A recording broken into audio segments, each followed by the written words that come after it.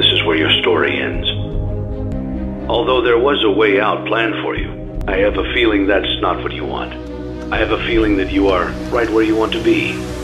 I am remaining as well. I am nearby. This place will not be remembered, and the memory of everything that started this can finally begin to fade away, as the agony of every tragedy should. And to you monsters trapped in the corridors, be still give up your spirits. They don't belong to you. For most of you, I believe there is peace, and perhaps more, waiting for you after the smoke clears. Although for one of you, the darkest pit of hell has opened to swallow you whole.